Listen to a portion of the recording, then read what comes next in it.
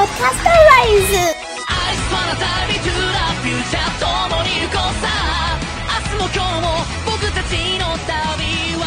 welcome to Lost in Appalachian Mon episode 44 of Lost in Translation Mon. I'm May. And I'm Jay. And this week we watched Appmon episode 44 Chasing the Fugitive Bootmon. What were your favourite bits, Jay? You know what? It was a hardcore filler episode, and so I didn't have as many as I would usually have. Mm. It had cute moments and stuff that I'd pick out, but on the whole, I would not even list like the episode's plot in there, right?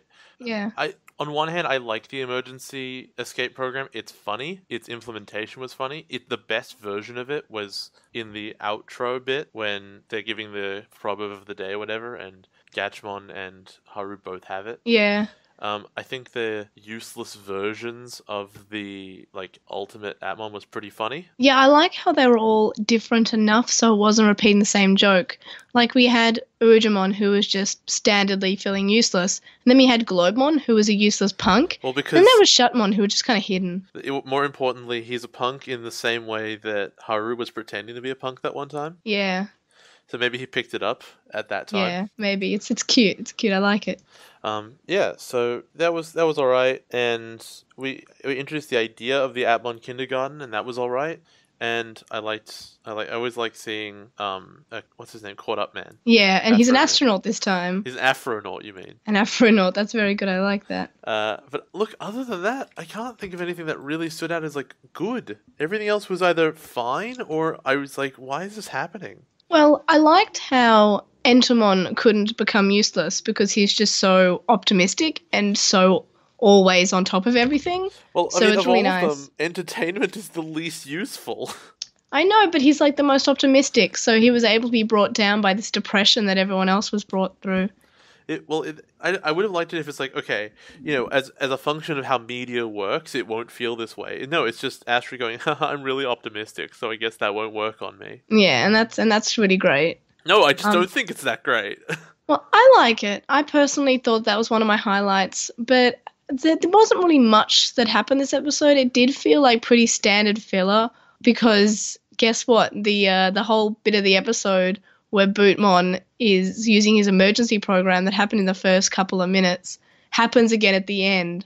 So it's almost in a way where you could have taken the chunk in the middle out and it would be the exact same. And if you think about it, what this episode establishes is that the kids are looking for him, and by the end, they are still looking for him, and they've gained no new knowledge. So, if you cut from the end of the last episode to the beginning of the next episode, I bet that you wouldn't notice anything.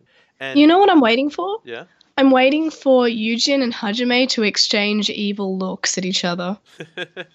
That's what I'm waiting eyes for. Eyes go red. Oh no. Um, Because it's such a trap. It's like it's it, it's got to be because they they Leviathan literally says it was his plan. So And there's a there's an argument to be made that oh yeah you know you got a piece of information you found out that Apliyama was like suspended or whatever, but Yeah. we already knew that Eri didn't want to be part of it anymore as long as Leviathan was leading it, and she's Yeah, going to go off on her own. yeah, I guess if we're moving to negatives now, I do not like how all of a sudden she seems to, I guess, almost care about Apliyama because she said a couple of episodes ago. I have to leave Apliyama, but I'm fine with that. And this one, she doesn't mention it. Sure, she says, look, Leviathan's the most important, but then I'll go back to Ya- Apliyama, which is just, it's strange considering Leviathan has Apliyama, so maybe if they defeat Le- Leviathan, Apliyama will be no more. No, the idea is I assume that Leviathan no, like Leviathan is running L Corp as a company, but if you took Leviathan out, the company would still exist. Yeah. It would presumably be less successful because it's not being secretly run by an AI who has a grip on the world, but it's the way that like, you know, capitalism and economic momentum work is that even if someone took over it now, it'd probably be fairly successful into the Mm. future. So it would be fine. Yeah, so I just want to say my other negative is the fact that I forgot to mention at the start of the episode that we're recording on Skype again. So apologies for bad audio quality again. Hopefully it will be back to normal next week when both of us are not contagious Exactly. and contagious to each other. Like usually when we're both sick, we will still record in the same room. Because we both Because have the same got- illness. Yeah, but this time we've both got like terrible, terrible illnesses, but they're both different from each other. So we're going to not do that. And also, my voice is still not here. Yeah, it'll come back one day, I hope. Yeah. So I still sound a bit like a 14 year old boy. Um, so I look and sound like a normal. 14. Yeah, I, I look and sound like one now. But yeah, so as for negative bits about the episode, like it wasn't a terrible episode. Like there are a few things I could nitpick, but it just didn't feel like the standard that we've had these last few episodes. I feel like this is the worst episode we've had in at least like maybe 10 episodes. One of the problems is how absolutely contrived it is. For Yeah. example, the entire story arc of this episode begins because the Appmon are running towards Bootmon in like a threatening manner, which is something they would never ever do. And uh, Hajime has inserted a emergency escape pro- program into Bootmon that will automatically trigger whenever he feels threatened. And Hajime didn't mention this to them before they go searching for him. Yes, but With- I still feel like this is because Hajime is evil. Well, no, but there's no like there's no series of events here which makes those all together make sense. I don't think. Even if he's evil, right? If he's evil, he wants them to find Bootmon, so he'd tell them. Okay, I see your point. And like he would, or if he wanted Bootmon to escape, he wouldn't have had that conversation at the end. Yeah. So, who's your favorite character? Because mine's always going to be Astra whenever we have an episode that focuses sort of almost on him or has him being cool in the fight. So, Astra and Musimon are great and I love them. Um, um, I've really like I just didn't care for this episode. I found Hajime such a a weird like uber character, L- like legitimately a Mary Sue character. Like Mm. he actually has a bunch of the characteristics of one. Um, but I don't know. No one stood out to me as being even vaguely interesting this time around. I like Caught Ray. up, man, because he's an You're caught up, man. astronaut. Well, I think we always pop for Caught Up Man. I have no idea why. It's such like a, a, a small little running gag, but I love it so much. I really do. Uh, miscellaneous bits. I thought that the the festival being the uh, festival of the broken electronic devices was pretty cool, but for some reason it reminded me a lot of Higurashi. So it's just like electronic devices when they cry or useless devices when they cry. It just reminded me so much of that. I guess it's because it's a festival and there's like a lake. I just really like Higurashi. Okay, I've picked that up in my years. in, in your years of I've- me not shutting up about it. Exactly. What were your miscellaneous bits? Any at all? Um, um, I liked more or less the bit where uh, Bootmon's flying through the AR fields, turning everything on. Oh yeah, that, that, that was cute. Yeah, no, I, I liked I liked that bit as well. That was pretty cool. And then it happens again at the, presumably at the end. Presumably. See, I wanted him to go back past every everything he'd just gone past, and you know everything's been turned off, everything's been solved, and then he just turns everything on again. I, I wanted that. I wanted the extra like three minutes of that happening again. The problem is that while it's a good it's a good gag that went too far, like things that were already on can't be turned on more. The train that's waiting to pick people up is already on. Going forward doesn't mean it's on now. It just May- means it's maybe when- performing a different when- function. Maybe when the conductor got off, he turned it on off. Maybe What? No. because it can, the conductor's not on because he's running after the train, and it's kind of a funny bit. And he says, "Wait, no, I'm the conductor." But it was it's already on. Hmm. It doesn't change anything. Do you have any more miscellaneous bits?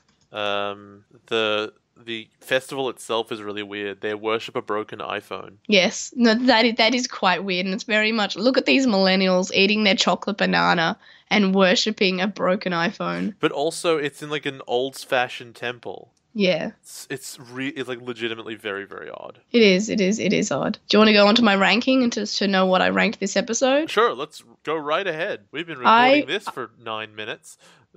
I well, that's that's because like with with Appmon with with our coverage of Appmon with our episodes like they're they usually if, if they're a good episode we go through the entire synopsis because that's our favorite favorite parts and it just happens to be the whole episode.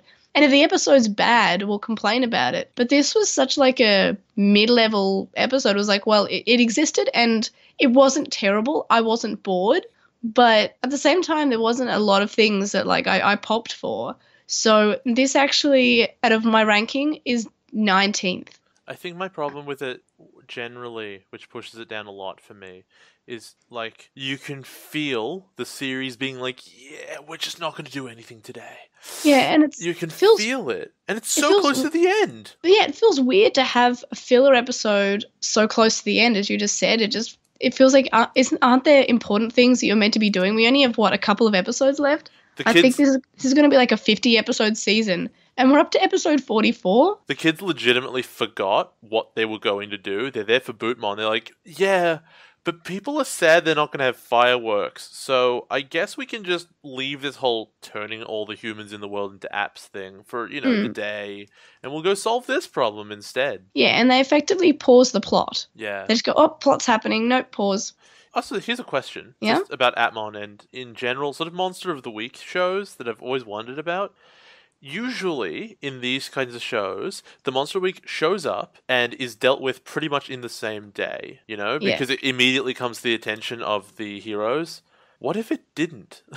like, what if Useless Mon in this case, or Trash Mon, whatever it was called, like, what if the kids just didn't go to this festival? It would would it have wandered around for like weeks, blowing up the entire city? See, I actually think so. I feel like a lot, and this happens in a lot of media, not just Appmon, but you know, the protagonists are always just in the middle of the plot, basically, and they happen to just walk into what's happening. They totally justify that in Buffy with the whole Hellmouth thing, and also Yeah. like um the a lot of the threats are so large it is impossible for them not to notice. But the thing about Appmon is that it is based on the idea of small inconveniences to technology localized in certain areas. Yeah, and like Leviathan's plan is presumably covering the entire world, right? Absolutely. So why why are these these problems in Australia? Do us does Australia not have Appmon? No, are it doesn't, have, not? doesn't have iPhones. We haven't developed. Yeah, we don't have the L virus shown to be infecting anywhere else besides within Tokyo for some reason. Like, what about the rest of Japan? Um, I'm Japan's a big place. Tokyo is a big place. What about where the other Apliyama members are? There are 400 of them. Why why doesn't anything ever happen to the rest of the world? Why is Leviathan explicitly just in Japan? It's it's strange, but the, it's where the protagonists are. And honestly, I'm surprised that Haru said, "Hey, we're always really lucky that we happen to be exactly where is Leviathan's doing some things." Right? Yeah, uh, I'm trying. Like, I'm trying to think why th- why they justify all of the time that they're there, and I can't actually think of one. Yeah. Well, I think that's it for that episode. It does It was okay. It, it was it was all right. It wasn't terrible. yeah, it was, I guess- fine. I guess above average in my ranking, which is not bad. So it is that means it's below the finest gourmet report, gourmet at Perorimon, and above reclaim the seven code Appmon showdown, ultimate versus ultimate. I will take your word for it. So next week we're watching a very excited episode, and I'm very I'm anticipating the, the next episode. It is a mighty clash, Gatchmon versus Agumon. It's gonna be another filler episode. It's unbelievable. Yeah, it is 100% another filler episode. Well, I haven't seen it yet, but I'm just assuming it is. But, I don't care. I'm looking forward to it, okay? Sure, fine. So you can email us at lostintranslationmon at gmail.com or you can comment on this episode on messages on SoundCloud. You can follow us on at translationmon on Twitter and you can find us on Lost in Translation 1 on Instagram, Tumblr, Facebook, and YouTube. We have a discussion thread on With the Will and Reddit thread in the Appmon subreddit and would appreciate it if you would review us on iTunes, Stitcher, or whatever podcast listening service that you use. And we have a website and you can check out our AppliRanking. Also, once again, sorry for the bad audio quality. As I said, Skype and recording, and like it, it is bad, bad quality just on Skype. And we both like Jay's using his gaming headset. I'm just using the one microphone. It is uh, it, it's not great, but hopefully we can endeavor to do better when we're both not contagious.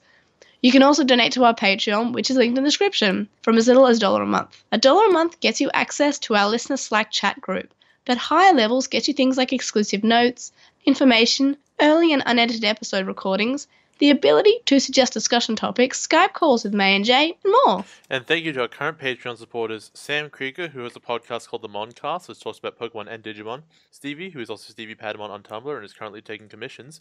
Wu Qinglong, who you can find at uh, twitch.tv forward slash Wu Qinglong.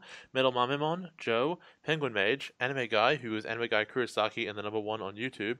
Chakmon, Ishpaul Bhamber, Hiro Alato, who's at Hiro Alato on Twitter, Jason Morosky, Ryuichi, uh, who's Frosman Magic on Archive of Our Own, Steven Reeves, who's at Wildwing64 on Twitter, Kaidawashi, Mac, Noam, Riku, Chisai, who you can follow at Chisai236 on Tumblr, Corey, Kyle, DaLadyBugMan, whose anime blog you can find at baguburagu.wordpress.com, Small Wolfie, who is on Tapastic as Small Wolfie and has a comic there called Eden of Melancholy, Tom, Glitchgoat, Azrael McCool, Nicholas, Gene Hackmon, Matthew, Anthony, who is at Antoclassic on Twitter, Lizmet, who is Elecmon on Tumblr, Sithobi, Ellie who is Ellie on Tumblr, Sporky McForkinspoon, Megan, and Kyliak. You can also donate to our PayPal for a one-off donation, which can be found linked in the description. It's paypal.me slash Airdramon. Make sure to let us know to the podcast. We'll see you guys next time. Bye. Bye.